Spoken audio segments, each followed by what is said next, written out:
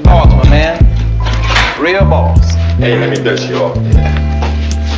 Then you'll be cleaner than the boy's house. Why not? I'm as free as the breeze, and I do as I please. Besides, don't take nothing but a good money. Here you go, baby. Well, Lovey, you're a scholar and a gentleman. Thank you.